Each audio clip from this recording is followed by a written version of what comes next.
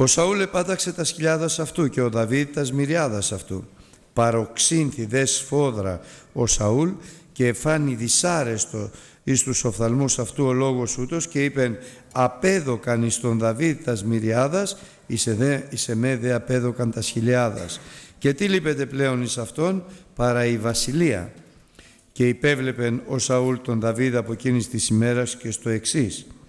Και τι επαύριον επήλθε πνεύμα πονηρών παρά Θεού επί τον Σαούλ και προεφήτευεν εν μέσω του οίκου. Και ο Δαβίδ έπαιζε δια της χειρός αυτού ως καθεκάς στην ημέραν. Ήτο δε το δεράτιον εν τη χειρή του Σαούλ.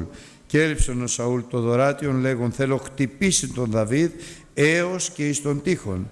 Αλλά ο Δαβίδ εξέκλεινα πέρα μπροστά αυτού δις.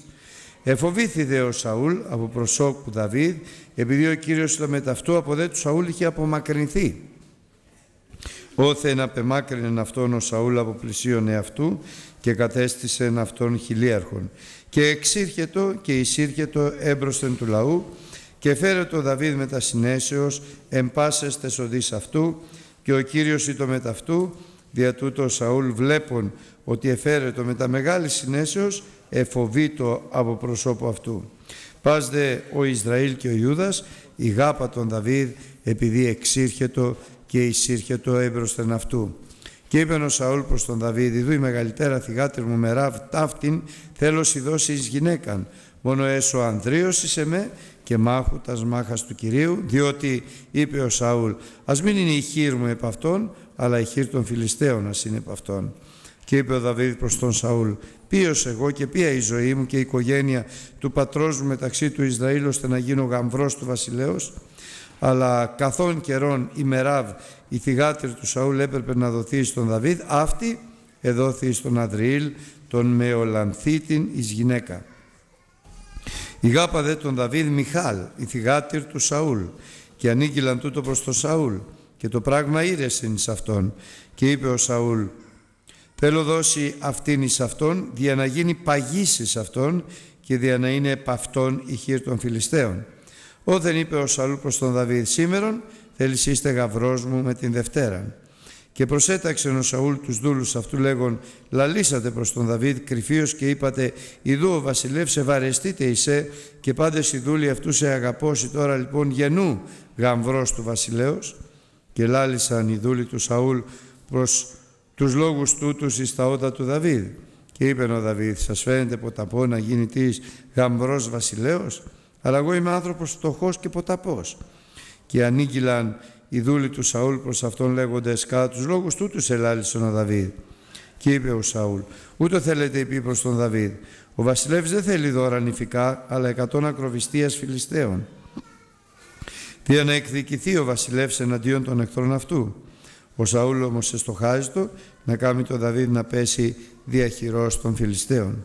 Και τότε ανήγγυλαν οι δούλοι αυτού προς τον Δαβίδ τους λόγους τούτους, ήρεσεν εις το Δαβίδ να γίνει γαμβρός του βασιλέως, όθεν και πριν η ημέρα πληρωθώσιν, εσηκώθη ο Δαβίδ και πήγαινε αυτός και οι άνδρες αυτού και θανάτωσαν εκ των Φιλιστέων 200 άνδρας και έφερε ο Δαβίδ τα σακροφιστίας αυτών και απέδωκαν αυτάς πλήρης στον βασιλέα για να γίνει γαμβρός του βασιλέως.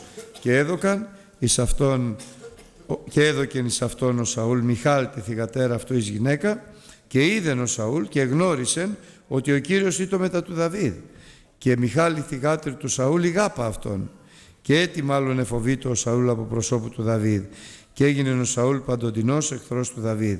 Εξήλθον δε οι άντρες, οι άρχοντες των Φιλιστέων εις πόλεμον και αφής ημέρας εξήλθεν ο Δαβίδ εφέρετο συνέσεως μεγαλύτερας παραπάντα στους δούλους του Σαούλ όθεν το όνομα αυτού ετιμήθη σφόδρα. Αμήν. 17 χρονό λοιπόν παιδί ο Δαβίδ και βρέθηκε αντιμέτωπος με τον Γολιάθ και ο Θεός τον παρέδωσε τον Γολιάθ στα χέρια του Δαβίδ. Ο Σαούλ τον κάλεσε στο σπίτι του. Θέλω να θυμηθούμε ότι ο Σαούλ ήταν ο βασιλεύς τον οποίον ο Θεός έχρισε στον Ισραήλ για βασιλέα, τον οποίον όμως και απέβαλε, απευλήθη από τη διακονία του γιατί δεν εστάθηκε πιστός, υπάκουος στο Λόγο του Θεού. Και ο Θεός προέβλεψε άλλον καλύτερον από αυτόν, τον Δαβίδ, ένα νεαρό μικρό παιδί, ο οποίος είχε όμως ένα ωραίο χαρακτηριστικό που άρεσε και αρέσει στο Θεό, καρδία κατά την καρδία του Θεού, εις το να πράττει πάντα τα θελήματα του Θεού. Πάντοτε και όλα. Αυτή είναι η καρδιά η ευθεία. Πάντοτε και όλα τα θελήματα του Θεού ήταν γραμμένα μέσα στην καρδιά του Δαβίδ και ο Θεός χαιρόταν πάρα πολύ για αυτόν τον άνθρωπο τον οποίον προέβλεψε να τον ευλογήσει αλλά με τέτοια ευλογία μοναδική όπου προέβλεψε ο Θεός ο Δαβίδ να είναι ο πατέρας δηλαδή εξ αυτού να εξέλθει ο Ιησούς Χριστός να ενσαρκωθεί ο Λόγος του Θεού. Και να δημιουργηθεί η βασιλεία του Δαβίδ που θα εξελιχθεί σε βασιλεία του Χριστού και θα εξελιχθεί σε, στον ουρανό στους αιώνες των αιώνων βασιλεία του Θεού Πατρός και του αρνίου του εσφαγμένου. Τώρα λοιπόν εξελίσσεται το σχέδιο του Θεού που είναι η προετοιμασία του Δαβίδ για να αναλάβει το έργο που ο Θεός έχει προβλέψει για αυτόν. Δεν είναι προετοιμασία μιας μέρας, δυο μέρες. Είναι μια προετοιμασία από τα 17 μέχρι τα 30 του χρόνια. 13 χρόνια. 13 χρόνια κάτω από την εκπαίδευση του Θεού. Ώστε στα 30 του να τον χρήσει ο Θεός βασιλιά του Ισραήλ.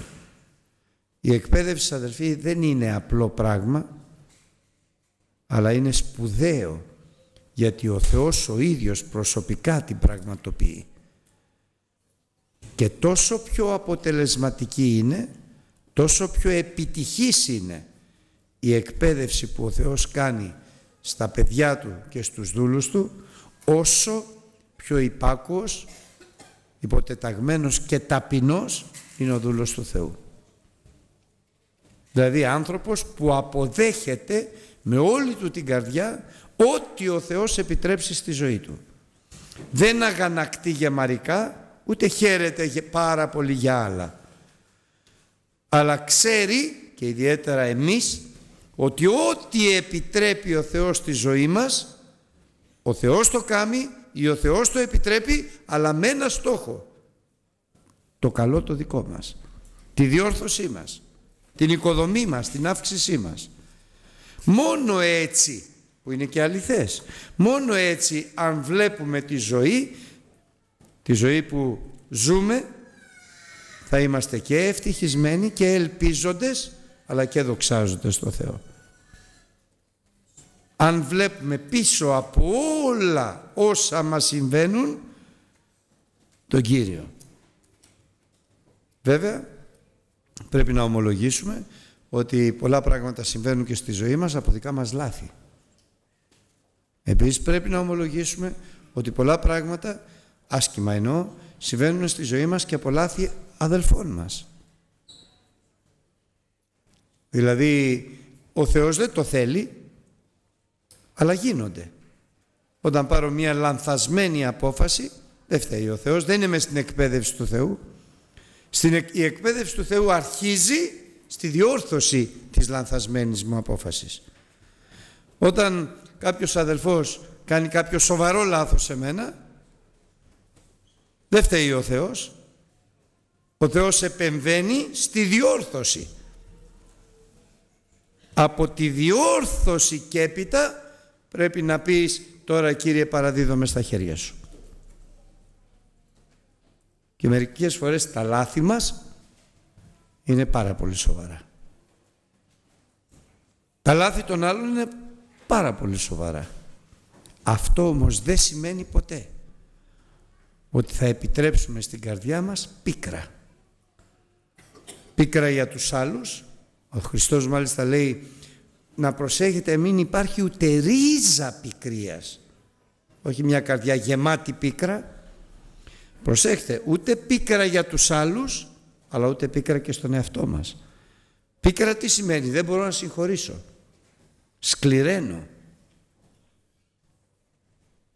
Και ρώτησε κάποια αδερφή, εάν δεν συγχωρήσω αυτόν που έκανε κακό, τι θα γίνει; Και της απαντάει ένας πρεσβύτερος, δεν θα πας στον ουρανό. Λέω καλά είπες, πολύ, απλά, πολύ απλά και πολύ σωστά. Γιατί αν δεν συγχωρήσουμε, ούτε ο Θεός συγχωρεί τα δικά μας λάθη και τις δικές μας αμαρτίες. Άρα το χώρισμα μεταξύ Θεού και ανθρώπων αυξάνει. Γι' αυτό η πρώτη μας προτεραιότητα στη σχέση μας με το Θεό είναι η συγχωρητικότητα. Όπως η πρώτη ενέργεια που κάνει ο Θεός στη ζωή μας είναι να μας συγχωρήσει τις αμαρτίες μας. Να συγχωρήσουμε όλους αδελφοί. Και προσοχή και τον εαυτό μας. Γιατί πίκρα τι σημαίνει; Δεν μπορώ να συγχωρήσω τον αδελφό μου αλλά δεν μπορώ να συγχωρήσω και τον εαυτό μου. Έκανα ένα λάθος και δεν μπορώ να τον δικαιολογήσω, δεν μπορώ να τον συγχωρήσω. Τι έκανες εκεί; Εγώ φταίω. Και μερικοί άνθρωποι καταδικάζουν τόσο πολύ τον εαυτό τους που χάνουν την παρουσία του Θεού και στον κόσμο αυτοκτονούν κιόλας. Τον εαυτό μας θα τον αγαπάμε όσο τον πλησίον μας. Όπως τον πλησίον μας θα τον αγαπάμε όσο τον εαυτό μας. Αυτή είναι η εντολή Θεού. Πρώτη και σπουδαία. Και επαναλαμβάνω, τον εαυτό μας θα τον αγαπάμε όσο τον πλησίον μας και τον πλησίον μας θα τον αγαπάμε όσο τον εαυτό μας. Και όπως είναι απαραίτητο επειδή αγαπάμε τον πλησίον μας να συγχωρούμε τον, τον, τον αδελφόν μας τον πλησίον μας ακόμη περισσότερο απαραίτητο ενώπιον του Θεού είναι να συγχωρούμε τον εαυτό μας. Να μην αγανακτούμε με κανέναν. Δεν είναι καλό στον χριστιανό να αγανακτεί. Ο Θεός να μας φυλάει. Άρα λοιπόν και να αποδεχόμαστε την εκπαίδευση, τη μάθηση, γιατί ο Θεός είναι αυτός που δίνει σοφία, γνώση, σύνεση. Πώς τη μέσα από την παιδεία που μας δίνει, υπομονή. Ο Θεός μας διδάσκει.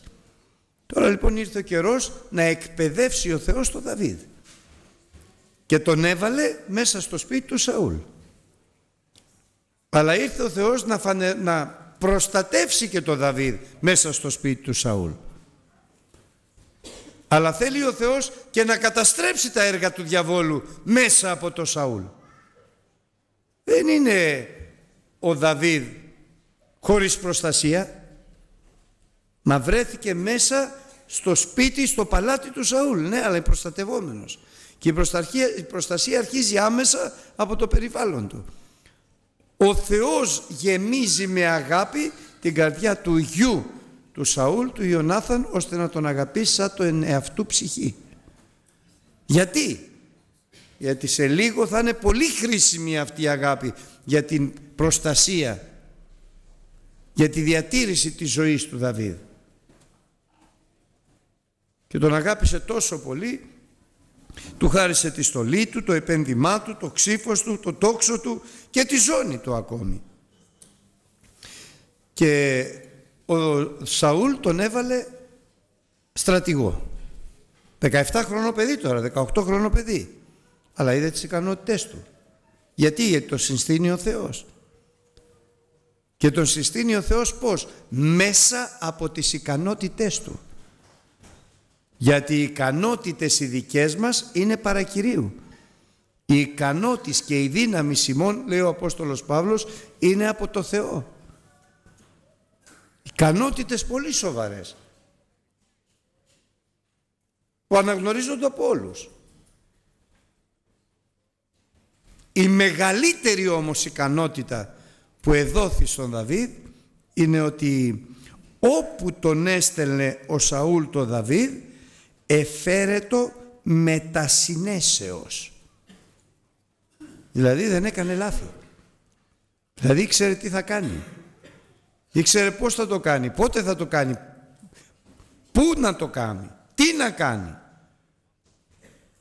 Και αυτό αδερφοί αγαπητοί είναι κάτι που μόνο ο Θεός δίνει. Να περπατάς τη ζωή σου σαν πατέρας μετασυνέσεως. Σαν σύζυγος μετασυνέσεως. σαν αδελφός, σαν αδελφή μετασυνέσεως. Σαν πρεσβύτερος, σαν διάκονος, σαν γέροντας, σαν νέος, μετασυνέσεως. Και μάλιστα λέει παρακάτω ότι επειδή περπατούσε ο Δαβίδ μετασυνέσεως, ο Θεός ήταν μαζί του. Είναι λοιπόν μήνυμα από το Θεό να ζούμε και να περπατούμε μετασυνέσεως. Όχι άφρονες. Και όταν περπατάς μετασυνέσεως, τότε ό,τι και να κάνεις το ευωδώνει ο Θεός. Άρα λοιπόν εκείνο που έχει σημασία είναι ο Θεός δίνει σύνεση. Εγώ μπορώ να κάνω κάτι να πω στο Θεό να μου δώσει σύνεση. Μπορώ. Μπορώ να σκεφτώ κάτι. Και βέβαια τις απαντήσεις μας τις δίνει όλες ο Λόγος του Θεού και θέλω να το διαβάσουμε αυτό αδελφοί. Να πάμε στη σελίδα 210 και θα διαβάζουμε από το πρώτο κεφάλαιο και το έξι εδάφιο. Μιλάει ο Θεός στον Ιησού του Ναβί στον οποίο έχει προσδιορίσει την αποστολή να οδηγήσει το λαό Ισραήλ στη γη Χανάν νικηφόρα. Εκείνο λοιπόν που χρειάζεται ο άνθρωπος αυτός είναι σύνεσης. ώστε ο Θεός να είναι μαζί του. Γιατί αυτά που θα αντιμετωπίσει εκεί στη γη Χανάν δεν τα έχει ξανασυναντήσει. Και είναι φοβερές και μεγάλες δυσκολίες. Υπάρχουν πόλεις δυνατές, περιτυχισμένες. Υπάρχουν γίγαντες ανακύμ, ισχυροί στρατοί.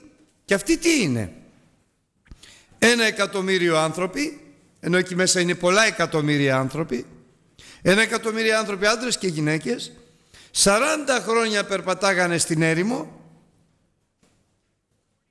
έτρεφοντο μόνο με μάνα και δεν είχαν καμία στρατιωτική εκπαίδευση. Και αυτό που του ζητάει ο Θεός να κάνουν είναι να πάνε να κατακτήσουν τη γη Χανάν. Χωρίς να έχουν ανθρωπίνως καμία ικανότητα. Άρα λοιπόν πρέπει ο Ιησούς του να δει να αποκτήσει ικανότητες. Και αυτό αδερφοί αγαπητοί να το πάρουμε πάρα πολύ σοβαρά σήμερα. Πρέπει να αποκτήσεις ικανότητες. Σε πράγματα που δεν ξέρεις. Για να περπατήσεις τη ζωή σου και ο Θεός να είναι μαζί σου και να έχεις καλά αποτελέσματα. Και βεβαίως οι άνθρωποι αγωνίζονται να αποκτήσουν ικανότητες και οι γονείς αγωνίζονται τα παιδιά τους να αποκτήσουν ικανότητες, τα στέλνουν στο σχολείο, στο πανεπιστήμιο, σε τεχνικές σχολές, όλα αυτά για να αποκτήσουν ικανότητες. Και όπως λένε οι άνθρωποι να κερδίσουν τη ζωή τους. Εδώ όμως τώρα ο Θεός μας λέει για κάτι που Αυτός δίνει. Να σου χαρίσει ικανότητες να κερδίσεις την ψυχή σου.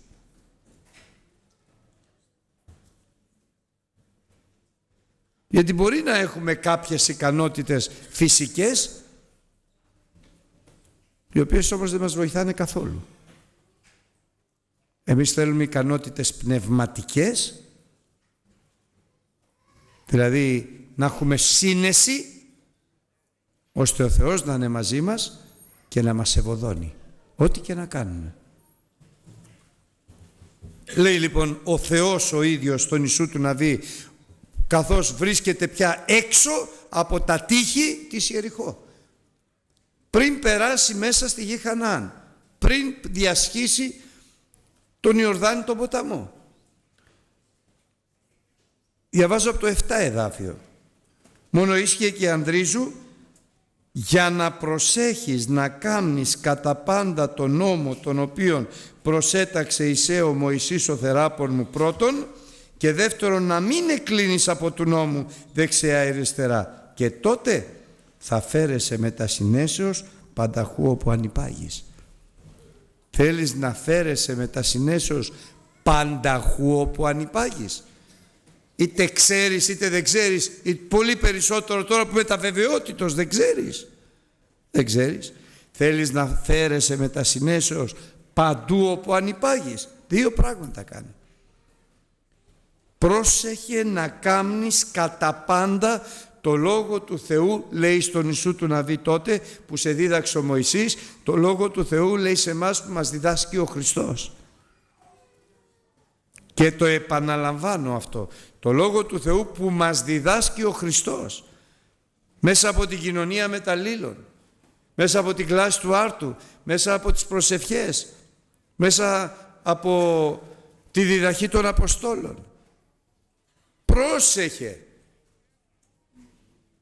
το ζητούμενο είναι να φέρεσαι με τα συνέφεως όπου ανυπάγεις. Εάν δεν το κάνεις αυτό, όλο λάθη θα κάνεις. Όλο θα απογοητεύεσαι.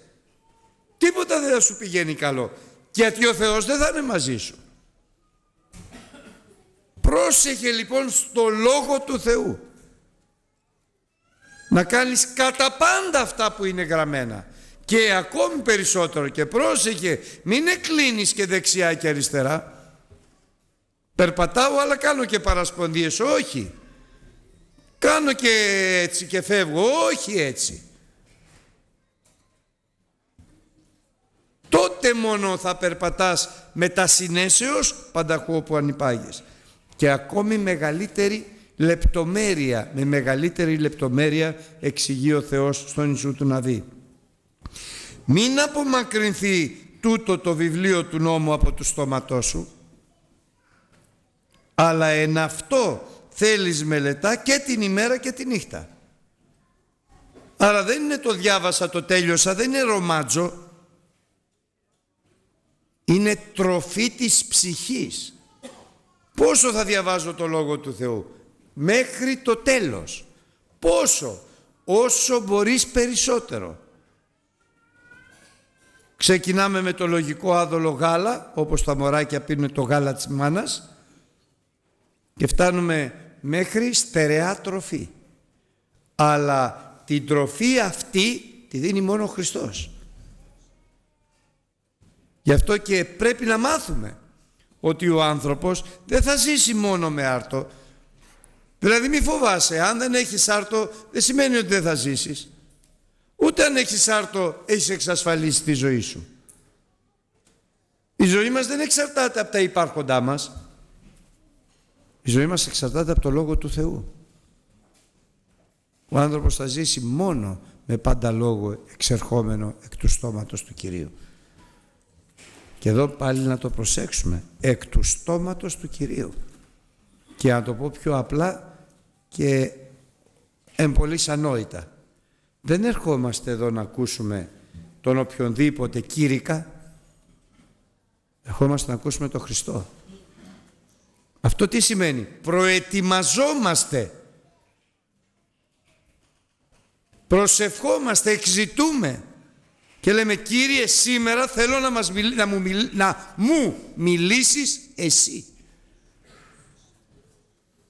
Και θα βρει τρόπο ο Θεός σε αυτούς που εξητούν να γίνει μισθαποδότης και να τους δώσει την στροφή που χρειάζονται.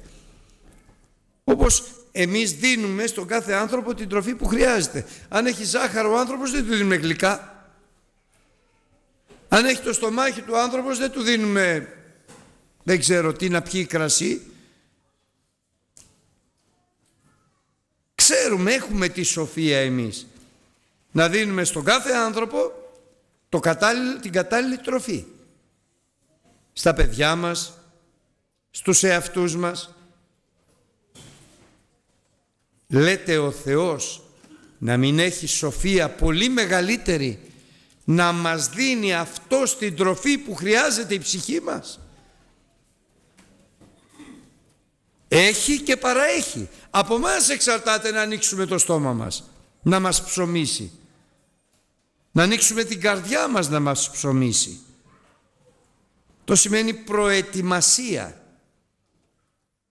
Πάω στον Κύριο πριν έρθω στην εκκλησία, στο δρόμο που έρχομαι. Καλό είναι να κάνουμε σοβαρή προσευχή, αλλά εν πάση περιπτώσει οτιδήποτε. και λέμε Κύριε σε παρακαλώ πάρα πολύ δώσε μου το λόγο σου μίλησέ μου, απάντησέ μου γιατί ο Θεός διαπραγματεύεται και την ώρα του κηρύγματος μπορείς να, κάνει, να προσευχηθείς. Πολλές φορές το έχω κάνει και ο Θεός πάντα σχεδόν μου έχει απαντήσει.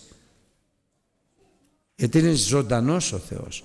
Αλλά και ο Λόγος του Θεού είναι ζών και ενεργός.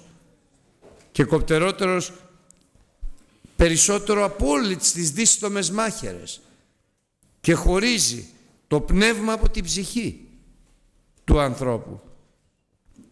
Αλλά όμως ο Θεός όπως είπαμε δίδει και μεγαλύτερη λεπτομέρεια. Να μην απομακρυνθεί τούτο το βιβλίο από το στόμα σου σε αυτό να μελετάς και την ημέρα και τη νύχτα όχι για να το μάθεις αλλά για να προσέχεις να κάνεις όλα όσα είναι γεγραμμένα εν αυτό. Όλα όσα είναι γεγραμμένα. Δηλαδή, δηλαδή βάζω τη ζωή μου μέσα στο Ευαγγέλιο του Χριστού. Υπάρχουν χριστιανοί που έρχονται στην Εκκλησία αλλά δεν έχουν καμία σχέση με το Λόγο του Θεού. Πληρώνονται με Πνεύμα Άγιο, δηλαδή τους έχει βαφτίσει ο Κύριος, πληρώνονται με Πνεύμα Άγιο, αλλά το Λόγο του Θεού τον έχουν στο σιρτάρι τους. Κι αν καμιά φορά το ανοίξουνε, καλώς. Αυτοί οι χριστιανοί τι θα πάθουνε, θα πεθάνουν από την πείνα. Είναι να έχεις μέσα στο, στα ντουλάπια σου φαγητά και να μην τα ανοίγεις ποτέ. Θα πεθάνεις από την πείνα. Να έχεις το ψυγείο σου φαγητά και να μην το ανοίγεις ποτέ. Αυτό το λένε οι άνθρωποι. Ξέρετε πώς το λένε οι άνθρωποι; Ανορέξια. Αρρώστια. Στο φυσικό άνθρωπο είναι αρρώστια. Δεν θέλει και στο τέλος δεν μπορεί να φάει. Και δεν τρώει καθόλου.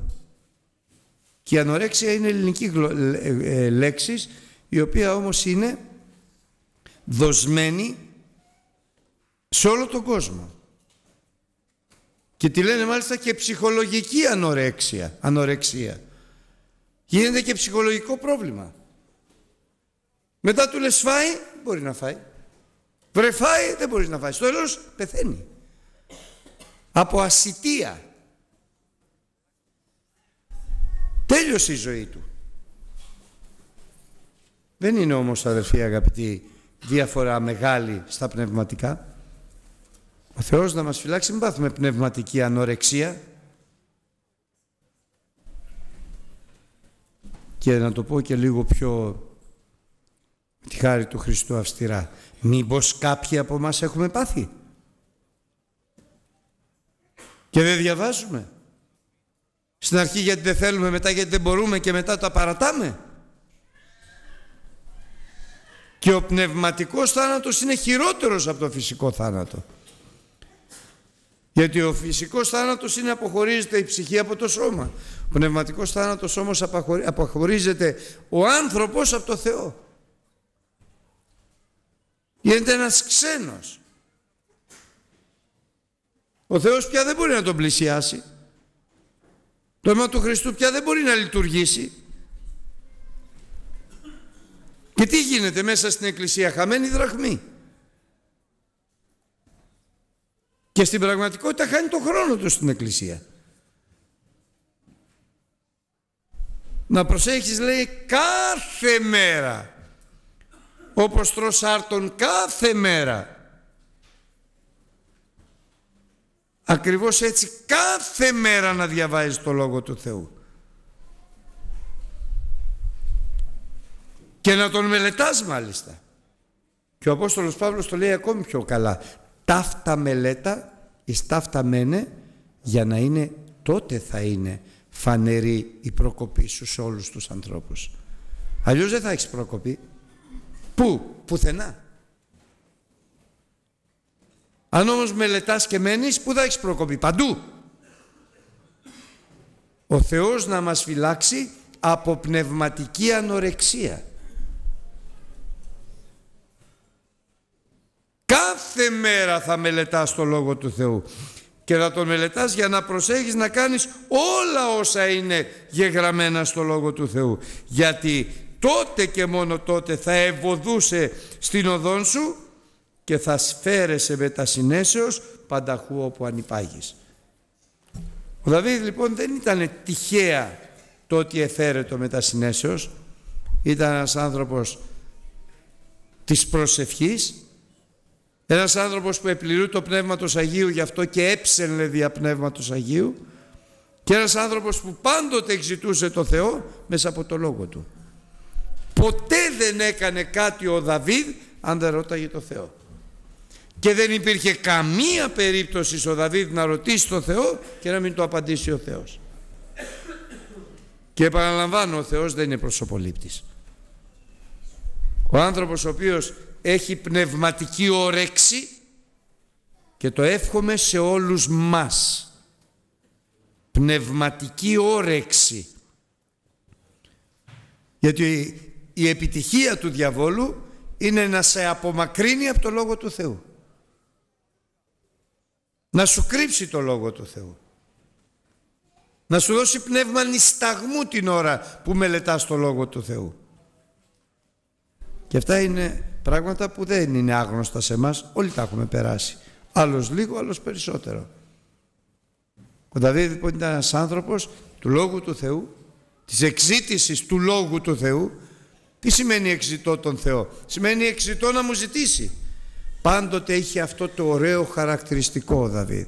Κύριε να πάω, θα είσαι μαζί μου. Και ούτε μία φορά ο Θεός δεν τον άφησε χωρίς να τον απαντήσει. Πήγαινε και θα είμαι μαζί σου. Μην πας, δεν θα είμαι μαζί σου. Όταν ρώταγε, ρώταγε με, με καρδιά έτοιμη να εκτελέσει. Γιατί υπάρχει και το άλλο το ερώτημα. Ένας νέος βλέπει μια κοπέλα όμορφη γλυκιά και λέει την αγαπάω. Κύριε να την πάρω. Αλλά το έχει αποφασίσει πριν το ρωτήσει. Πριν το ρωτήσει έχει πάρει την αποφασή του. Δεν είναι αυτό που θέλει ο Θεός. Ο Θεός θέλει όταν ρωτάμε να μην έχουμε πάρει απόφαση, να έχουμε καταδικάσει αυτό που μας αρέσει, αυτό που θέλουμε και αυτό που βλέπουμε ότι μας συμφέρει για να πάμε στο Θεό να μας πει αυτό που αρέσει σε Αυτόν, αυτό που θέλει ο Θεός για μας και αυτό που αρέσει στο, και αυτό που συμφέρει κατά το σχέδιο του Θεού για μας, τη ζωή μας. Αυτό είναι πνευματική όρεξης. Δεν ασχολείται ο χριστιανός με προσευχούλες. Κάνω μια προσευχούλα, όπως κάνουν οι άνθρωποι, θα κάνω και το σταυρό μου και θα πάω. Δεν γίνεται έτσι. Προσευχή θέλει επιμέλεια. Ο Λόγος του Θεού θέλει επιμέλεια. Και μην πεις δεν έχω χρόνο. Εγώ εκ πείρας σας λέω και ομολογώ ότι όταν δεν είχα χρόνο διάβαζα πιο πολύ παρά όταν είχα χρόνο. Γιατί όταν έχεις χρόνο έρχεται ο εχθρός και σου φέρνει δουλειές. Μέρημνες.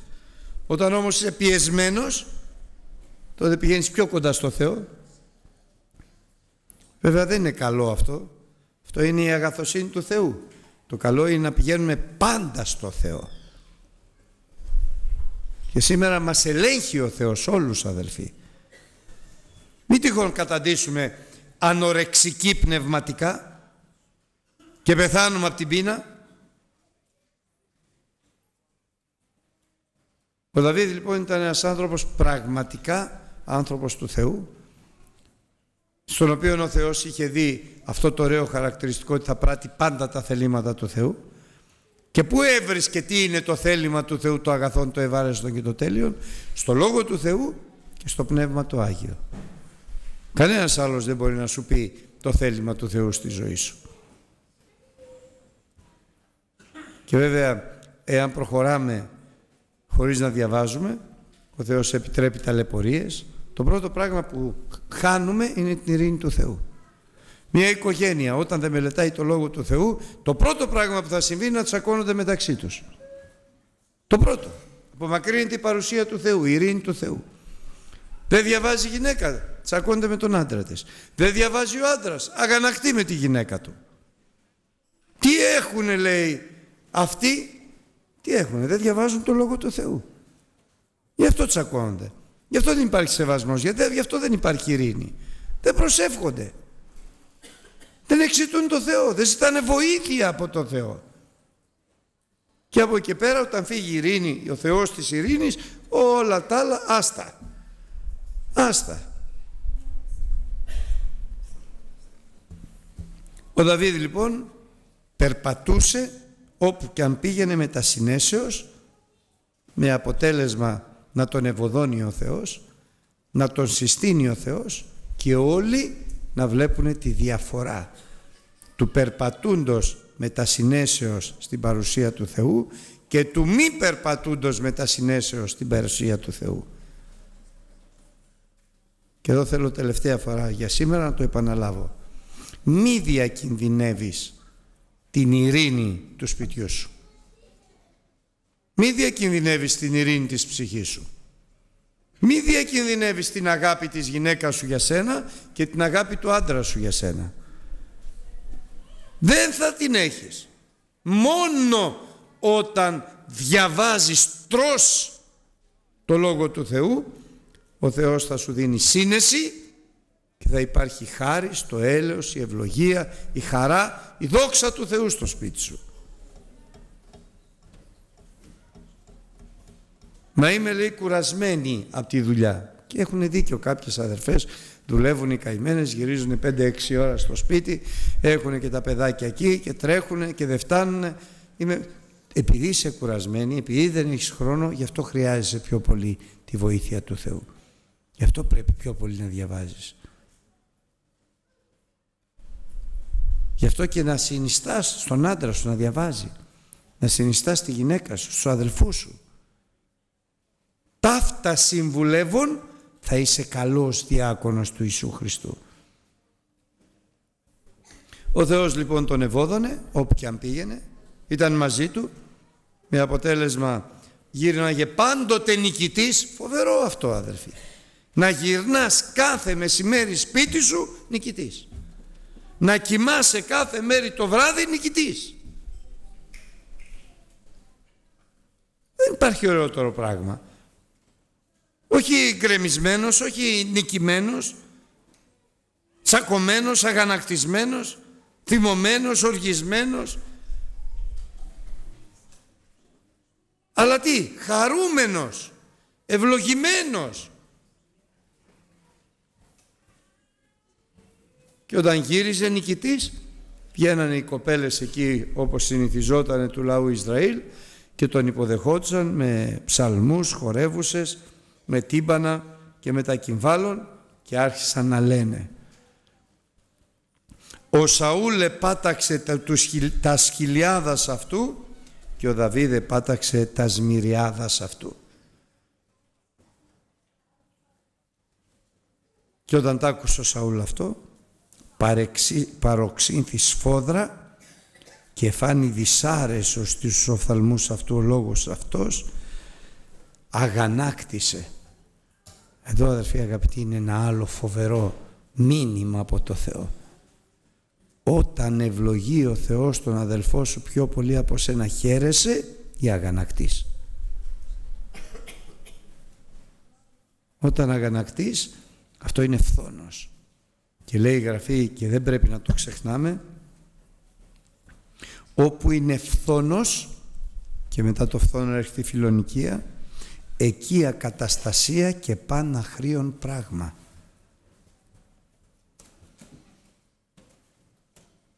Με μεγάλη χαρά θέλουμε να βλέπουμε τους αδελφούς μας και μάλιστα τους νεότερους να τους ευλογεί ο Θεός πιο πολύ από μας. Με μεγάλη ευγνωμοσύνη προς το Θεό. Κάθε πατέρας θέλει το παιδί του να πάει καλύτερα από αυτόν. Ναι. Αυτή είναι η πατρική αγάπη που πρέπει να την έχουμε. Πατρική αγάπη σε όλους. Να έχουμε δηλαδή την αγάπη του Θεού Πατρός. Και η αγάπη του Θεού Πατρός είναι πατρική.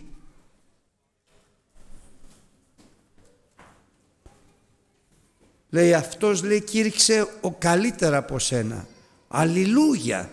Όλοι να κηρύττουν καλύτερα από μας. Κάποτε πήγανε στον Μωυσή και Και του είπανε ο Ιησούς του Ναβί ενώ σταμάτησες εσύ αυτός συνεχίζει και προφητεύει. Τι μας κάνει τον έξυπνο; Και είπε ο Δαβίδ μακάρι όλοι να προφητεύανε ακόμη. Όχι μόνο δεν στενοχωρήθηκε, όχι μόνο δεν λυπήθηκε, αλλά η χαρά του είναι πλήρης. Και σε αυτή τη χαρά χαίρεται ο Θεός. Γιατί είναι χαρά αγάπης.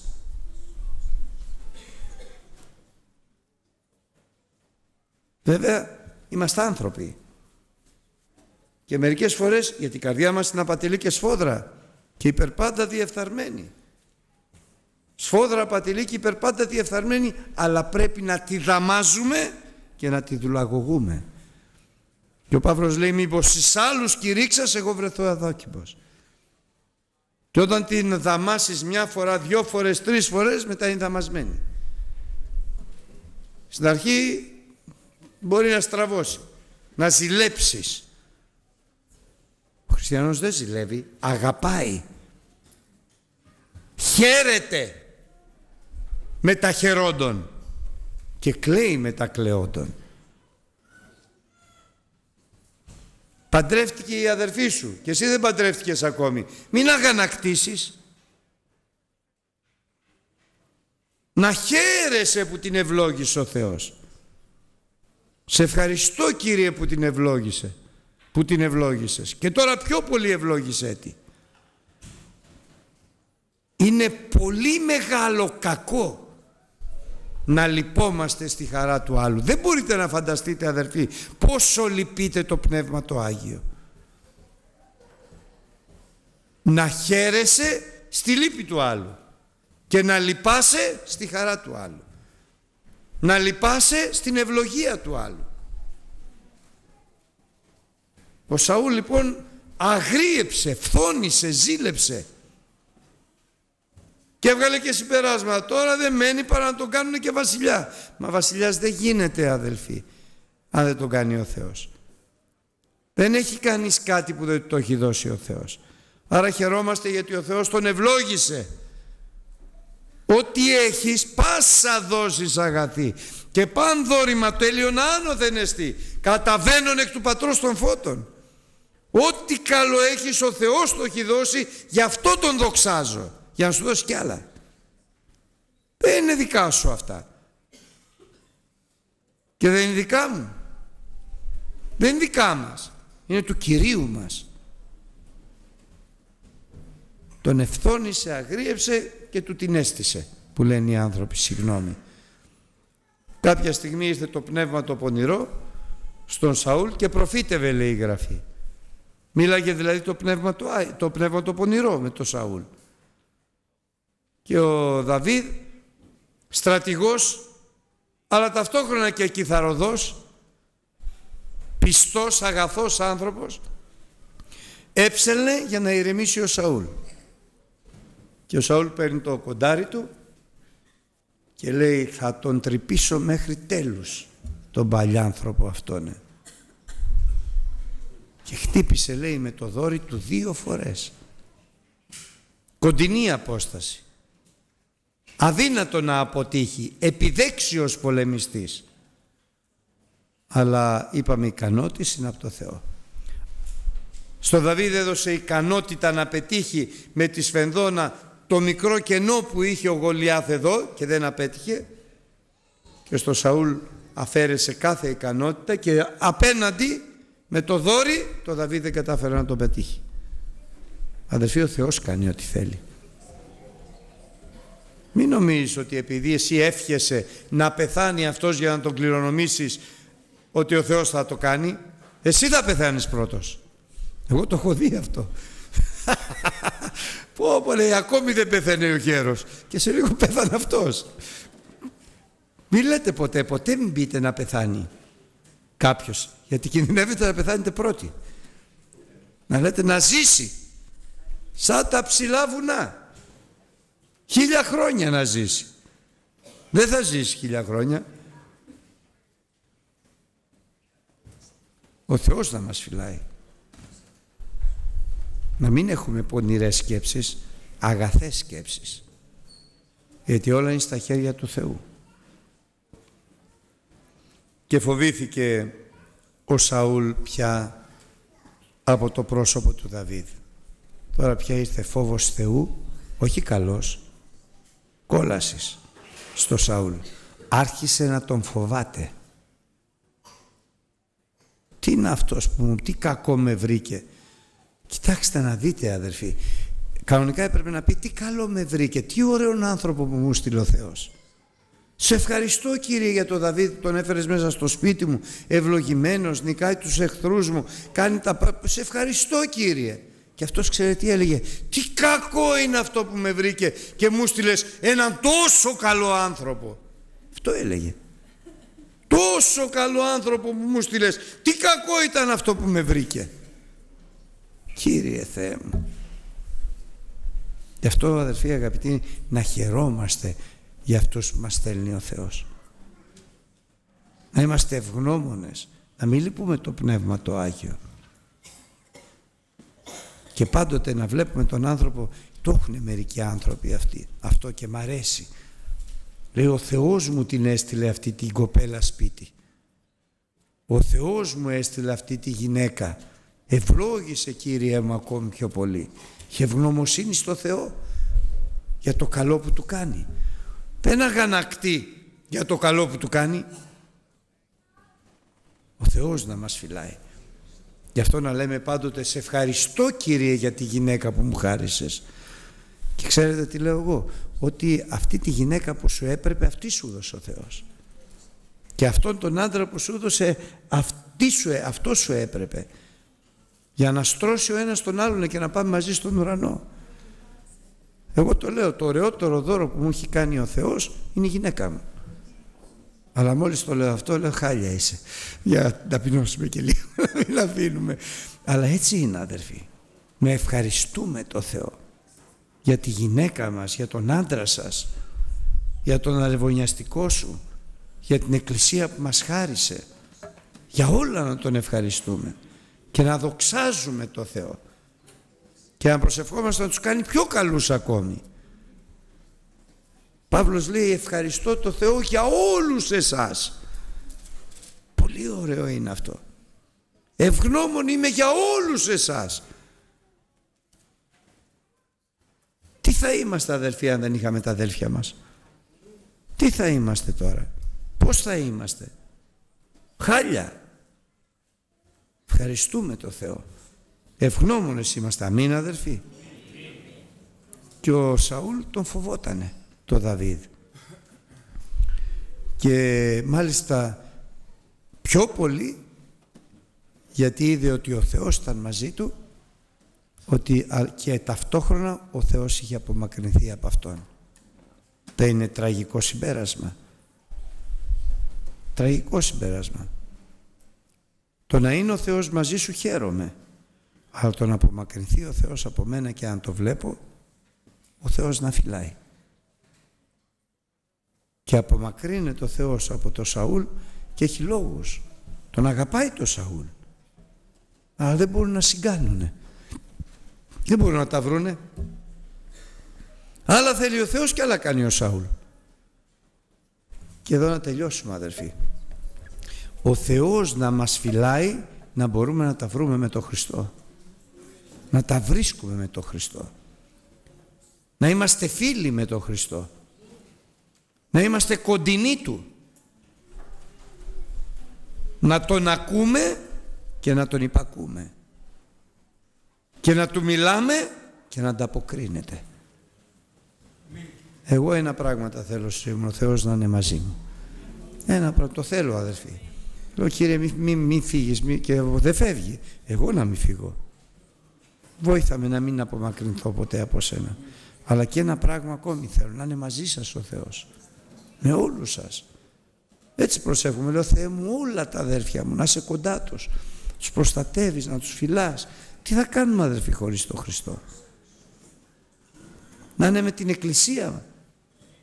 Και αυτή τη μικρή εδώ, να είναι μαζί. Να είναι ο Χριστός μαζί μας. Και ο Χριστός θα είναι μαζί μας όταν είμαστε μαζί με τον Χριστό. Αμήν αδερφοί. Βόηθα μας Κυριέ μου, βόηθα μας, τι να λέμε, βόηθα μας. Να ψάλουμε τον ύμνο 190, τα μεγάλα υμνολόγια.